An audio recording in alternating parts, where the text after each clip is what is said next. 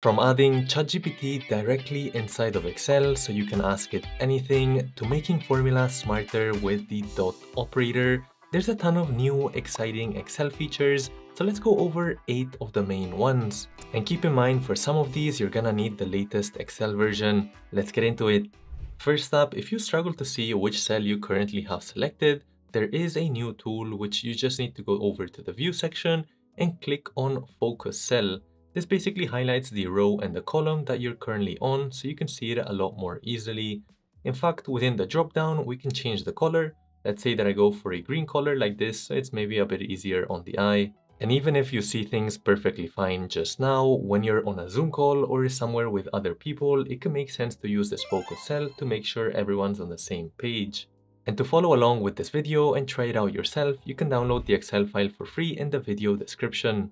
Staying on the topic of colors, one pretty annoying thing is when people make the background color and the font color pretty much the same. You can see that's the case for the header as well as for all of these actual values. They're really hard to see, but luckily now Excel has a new feature so I can highlight all of these headers. And if I go inside of this area, you'll notice there's this high contrast only button so I can tick on that and now because my font is in black, it's only showing me light colors. So regardless of which I choose, I can actually see the font quite well.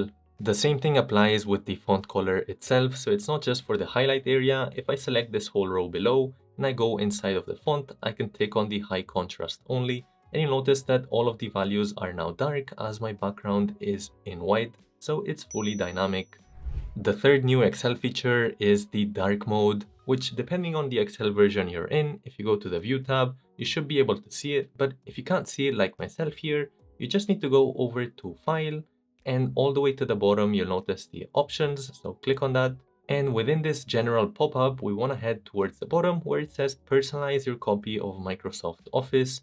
And here as the Office theme, we want to go to choose a black one. So that's what I'm going to go for here. Press on OK. And you notice that now everything is in black. And if we go to the view area, I have this switch modes option. So if I click on that, the actual cells just turn white while everything else remains black. I can tick on it again to reactivate that part. And if I want this completely off again, I just need to go back to file options and choose another style from down over here. So instead of the black, I can choose just the white or the system settings.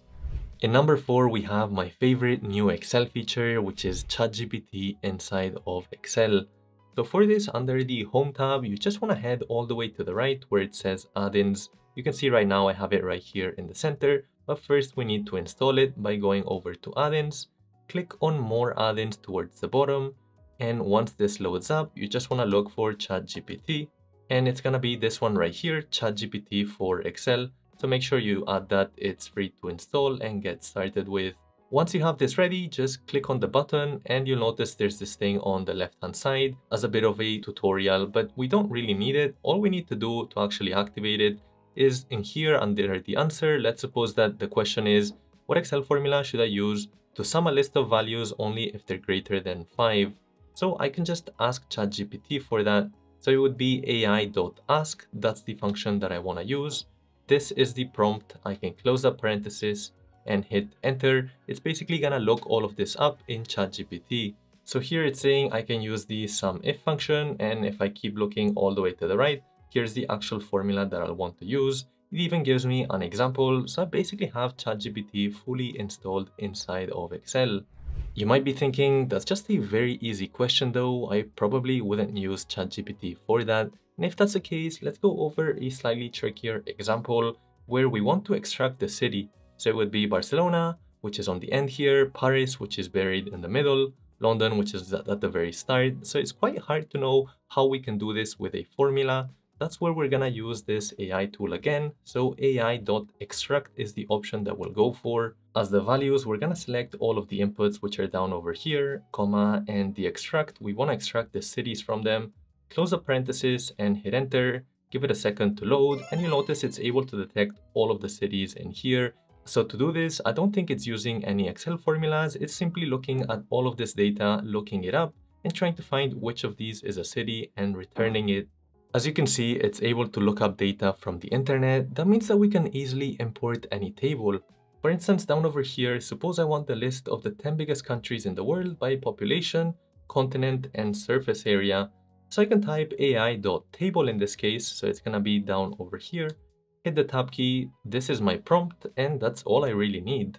Close up parenthesis and hit enter, and give it a second for it to load. And you can see we have all of these different countries, their population, the continent, and the surface area as we've specified.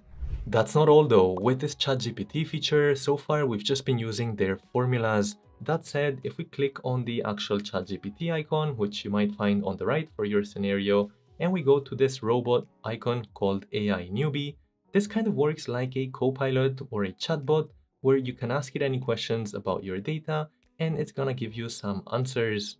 Speaking of add-ins, we've now got Python inside of Excel. With it, we can do so much more than what Excel is capable of on its own. You can find this under the Formulas tab in this Insert Python area, or the other way to use it is typing equals py, hit the tab key there, and the first thing we need to do is give it a data range, which in our case, let's say is simply from Apple to ExxonMobil.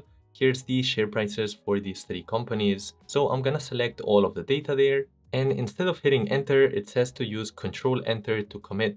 That's because when we just hit enter, it simply goes to the next cell, which is not quite what we want. So in this case, we're gonna go control enter, and it's gonna create this thing called a data frame, which is basically like an area where it's storing all of this data. So if I go to this top left hand side, I can press Excel value, and it's actually gonna show all of my data. That said, it's fine with it collapsed right now, so I'm gonna press on Python object. So the first thing we can do here is try to analyze this data a bit so what's the high point for Apple share price? What's the low point, etc.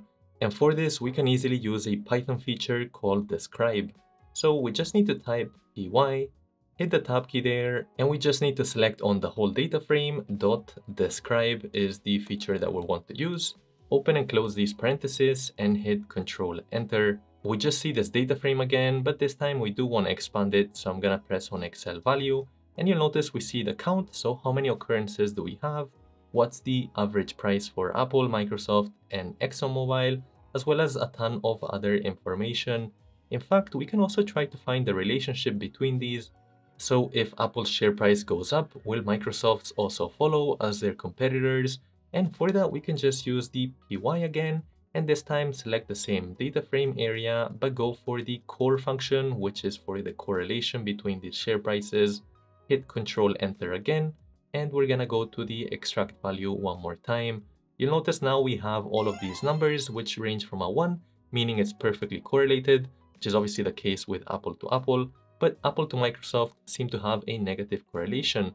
So when Apple goes up, this one's actually going down, and same thing goes with ExxonMobil.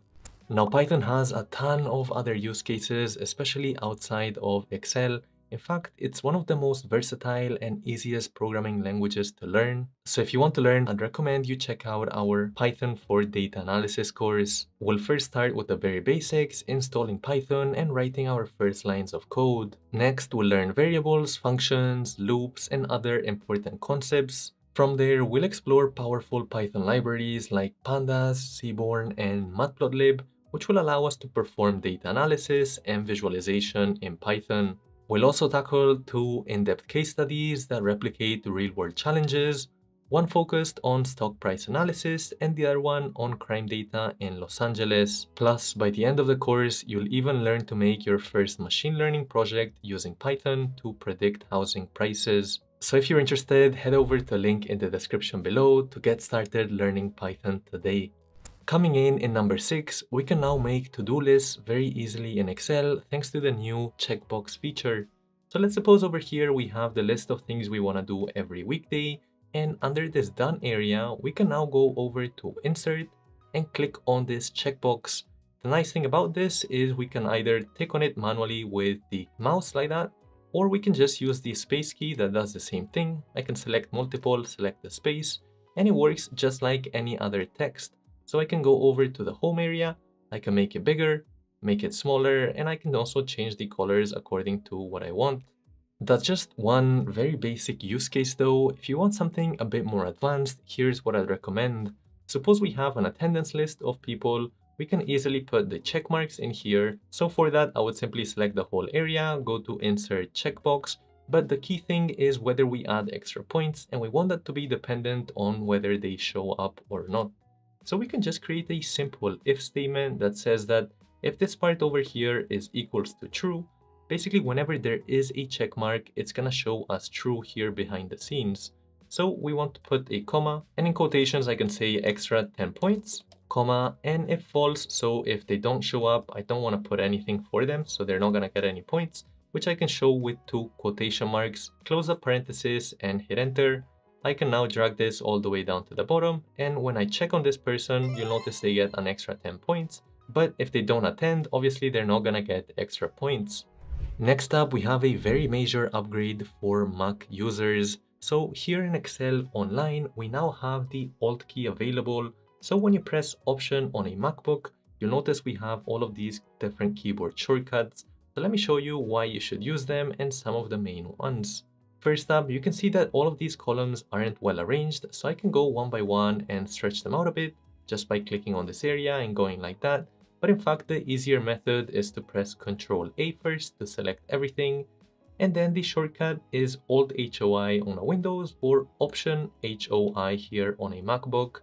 You'll notice that everything is being stretched out according to the length of the actual area. That's just one of the Alt key shortcuts though, there's actually a ton of other ones, so I can select the whole area again with Control A and then go to Option AM and this basically allows me to remove any duplicates from this data. I can press on OK and you can see that it's removed the two duplicates that were already there. Finally, as I scroll lower down, you'll notice that I no longer see the headers, so it would be nice to always see it. For that, just head over to row number 3, and the shortcut there is Option WFF. When you do that, you'll notice that it freezes this top header row, so I can keep scrolling down and that's always gonna remain there. Of course, you can use your mouse for these shortcuts too. That said, in the short term, it might be faster, but long term, using this option or the Alt key is definitely gonna save you a ton of time. In number 8, we have a super simple yet very effective tool, which is the dot operator. So let me show you what it does. Over here, you can see that I have some data with someone's name and their revenue. Suppose that I just want to copy it into a new sheet. So all I need to do there is click on the equal sign and select this whole original area that said, I want to be able to account for any future rows, so it might be easier for me to simply select the whole column B. Once I'm done, I can just hit on enter there, and you'll notice that I get all of this new data, but for the bottom ones, we get all zeros. That doesn't look particularly nice. In fact, if I copy this across to the column C, I have the same problem with all of these zeros. So a very easy way to get rid of that is just to put a dot here at the very end. So after this colon, put a dot and then a B. When you do, you'll notice we get rid of these zeros. Same thing goes with this side, but the nice thing is if I update the original version here and I just put my name here and some data as well, if we go to the new version, it's still being updated. So simply by adding a small dot there, we've been able to make this fully dynamic. Now, with so many Excel formulas out there and new ones being released, it's hard to know which one to actually use. So if you want to know how to use the perfect Excel formula every time, you should watch this video over here, or you can take our Excel course over here. Hit the like and the subscribe and I'll catch you in the next one.